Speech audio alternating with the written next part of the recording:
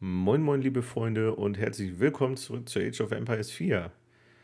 Mein Gott, was war das für eine Mission in der letzten Folge? Die Verteidigung von Paris. Ja, eine Hektik pur und an allen Fronten wurde gekämpft. Wir mussten Paris verteidigen und haben es gerade so eben hingekriegt. Ähm, am schlimmsten waren die Tribox, fand ich, und halt die Belagerungstürme, weil die natürlich die Truppen auf den Mauern ausgesetzt haben und dort standen größtenteils Bogenschützen beziehungsweise die ähm, äh, ich glaube, Spezialeinheit von den Franzosen ist das, Arabalastier oder sowas nennen die sich. Ähm, ich habe es gerade nicht genau zusammen. Aber ja, wir haben es mit Hängen und Würgen auf jeden Fall geschafft und ich muss sagen, das war eine der schwierigsten Missionen bisher. Gut, dann schauen wir mal weiter.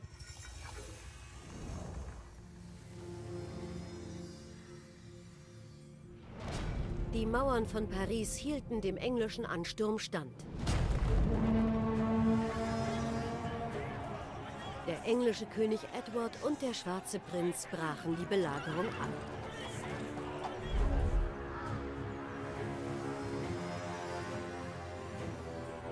Sie marschierten stattdessen nach Chartres, um ihr Glück mit einem weniger eindrucksvollen Ziel zu versuchen. Doch bevor sie den Angriff wagen konnten, wurde die Armee von einem schrecklichen Sturm getroffen. Der tausend englische Soldaten durch Hagel und eisige Winde tötete. Die Katastrophe des Schwarzen Montags erschien Edward als göttliche Vergeltung und als Zeichen dafür, dass es Zeit war, den Krieg zu beenden und mit Frankreichs König Johann Frieden zu schließen. Doch selbst nachdem die Könige den Frieden besiegelt hatten, durchlebte das Volk Frankreichs noch Blutvergießen und Aufruhr.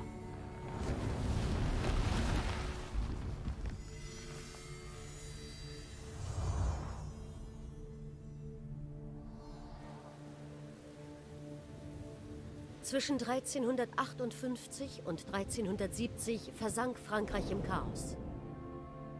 Bauernaufstände, marodierende Söldnerbanden und Bürgerkriege verwüsteten das Land. Bauern erhoben sich, töteten ihre Herrscher und richteten verheerende Schäden an.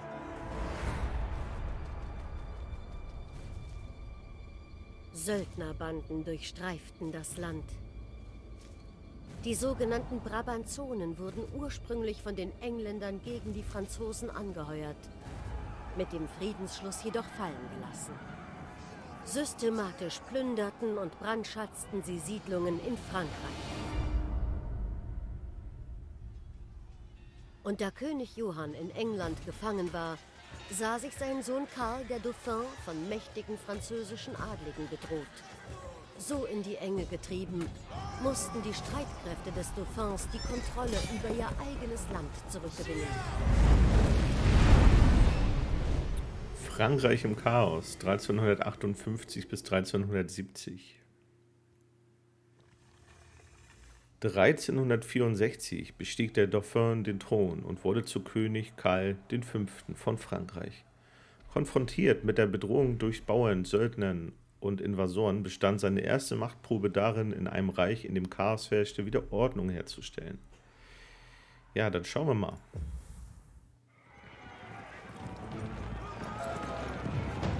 Kürzlich gekrönte König Frankreichs, Karl V., entsandte seine Armee in das von Franzosen gehaltene Dorf Evreux, um Ordnung ins Chaos zu bringen.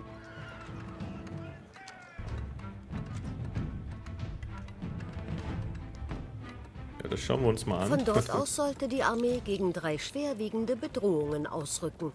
Marodierende Söldnerbanden, die das Land plagen, eine Bauernrevolte und die Angriffe eines Rivalen auf die französische Krone, Karl von Navarra. Schlagen Sie den Bauernaufstand nieder. Die französische Armee begann mit der Rückeroberung der von Aufständischen beherrschten Dörfer Cocherel, Jouy und Croissy. Ja, wir müssen erstmal schauen, dass wir unsere Gebäude reparieren. Weil die alle brennen und deswegen müssen wir die schnellstmöglich natürlich reparieren und das Feuer löschen.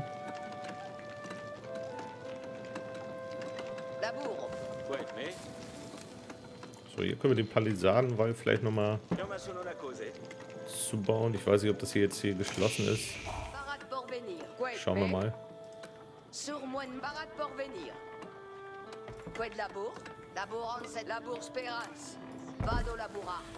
Ja, Nahrung brauchen wir auf jeden Fall, das ist wichtig.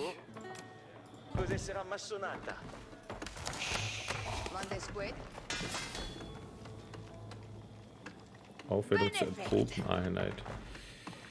Ja, das brauchen wir auch. Oh, da ist noch ein brennender Turm. Den versuchen wir natürlich auch noch zu retten.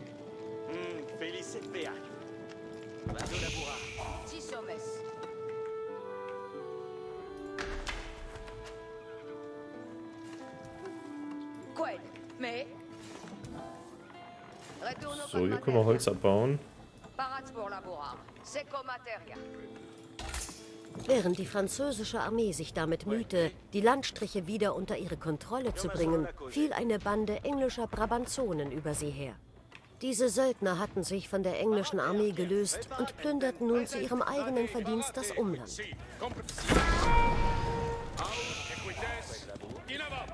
Ja, dann kümmern wir uns mal um die.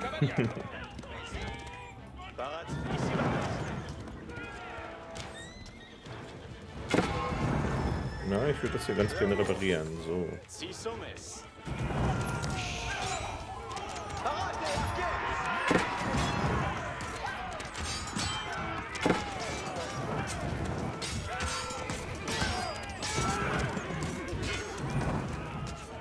Okay, zumindest sind sie nicht durchgebrochen.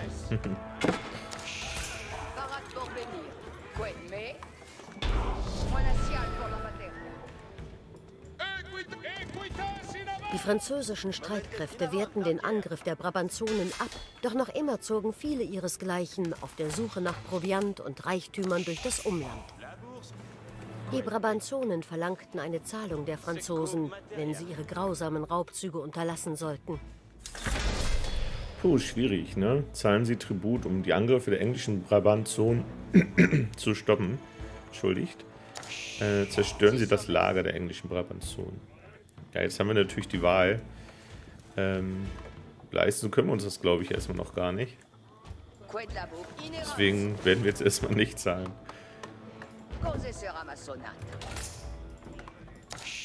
So eine Goldader haben wir ja auch nicht so wirklich.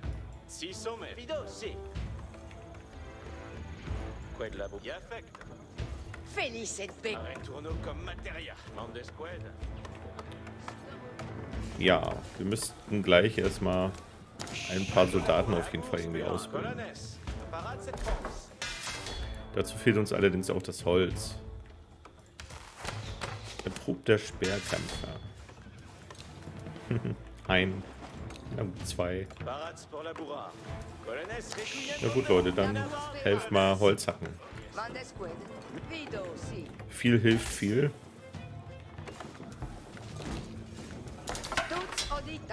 Macht ihr hier alle? Rumstehen.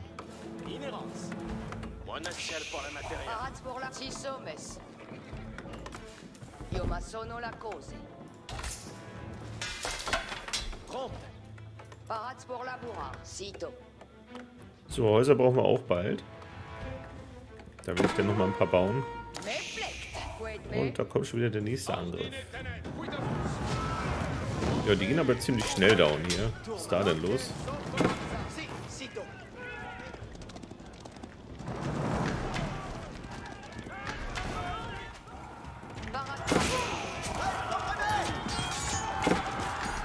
Wir haben halt auch keinen Stein. Nützlich wäre jetzt hier vielleicht ein Marktplatz. Den wir natürlich nicht bauen können. Aber eine Schmiede können wir bauen.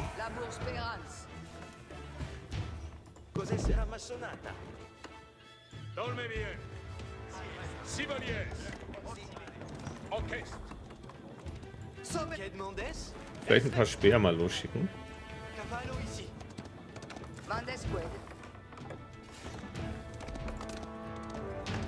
Vado laburar. Puede labur? Io ma sono la cosa. Cose sarà ma sonata. Buon lavoro.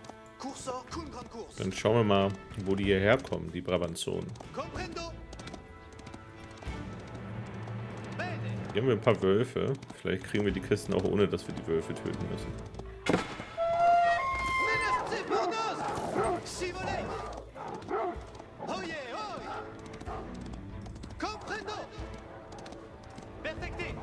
Und hier ist das Brabanzonlager. Okay, Leute. Wir haben zumindest ein bisschen Gold geholt. Das geben wir auch zugleich wieder aus.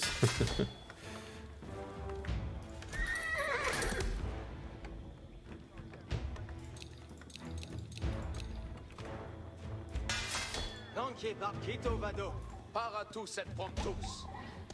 Caval parat. Si volez. ja, ich glaube, da unten ist nichts mehr. Gehen wir mal hier rüber. So, um uns den Brabanzone ein bisschen zu entwehren,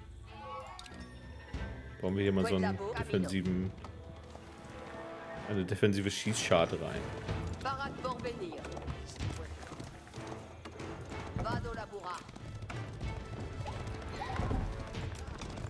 Oh, da kommt schon der nächste. Angriff, Leute.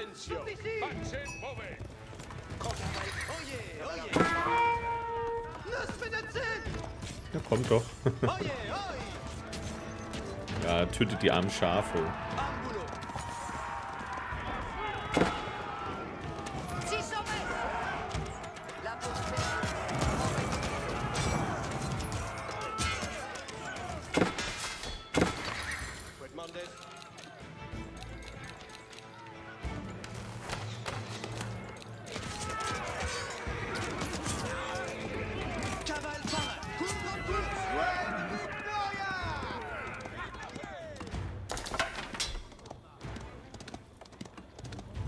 Das Schaf rennt immer noch hinterher hier.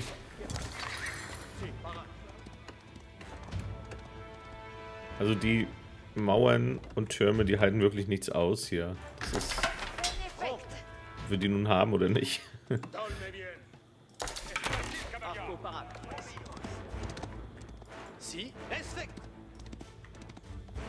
So, hier geht schon das gegnerische Gebiet auch wieder los.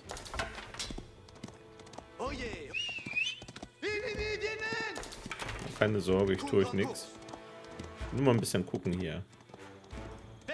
Vielleicht finden wir noch Kisten mit Rohstoffen. Cavallo ici.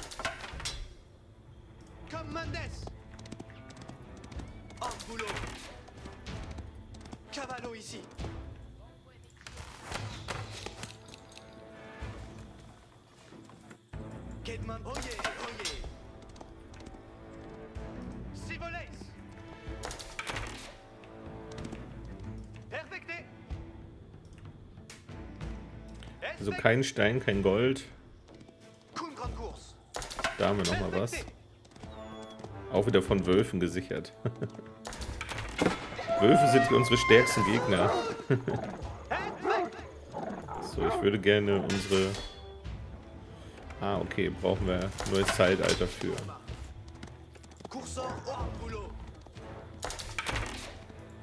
Was können wir denn hier noch erforschen?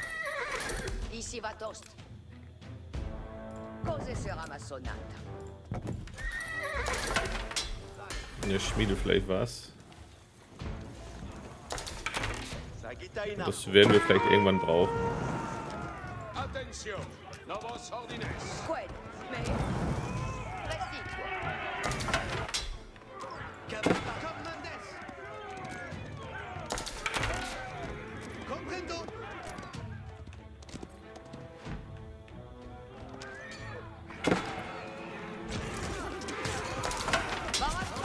Unser Ball auch schon gefallen.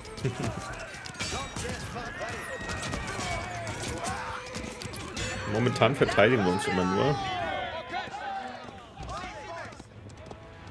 Aber wir müssen auch erstmal Fuß fassen.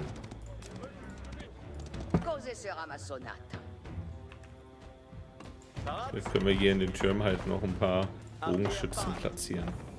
Arco parat. Arco parat. Parate, arquers.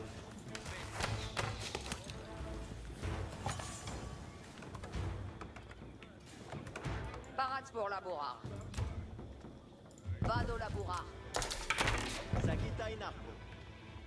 Ordi secundmandement.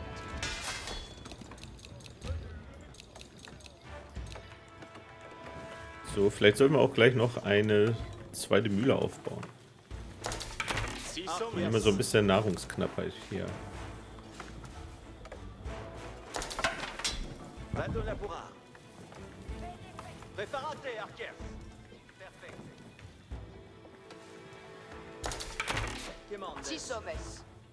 So, ist ja alles heil jetzt wieder? Ja. Sehr schön. Io ma sono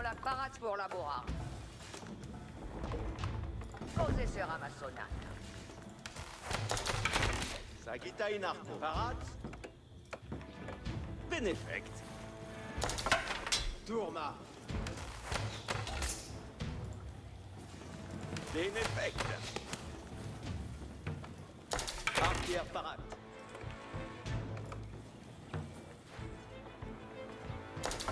Oh, da fehlt auch noch einer.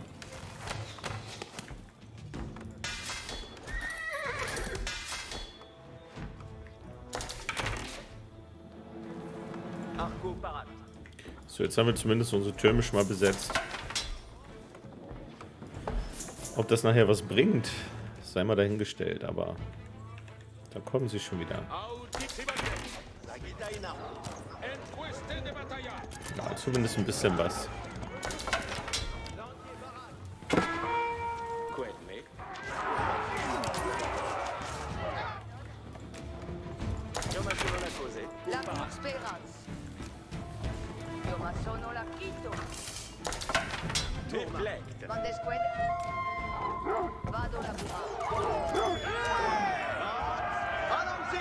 Und selbst die Wölfe müssen jetzt comprendo. Vale.